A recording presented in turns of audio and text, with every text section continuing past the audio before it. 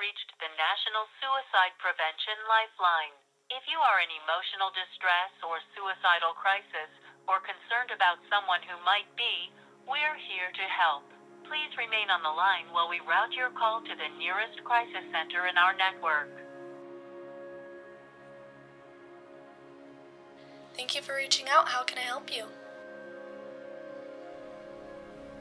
Just been having a really hard time recently.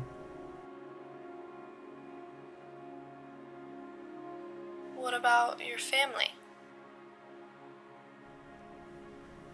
They're not here.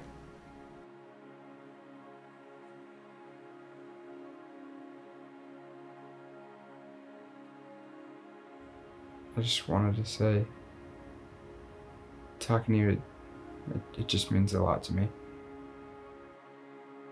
I'm really glad I can be here for you.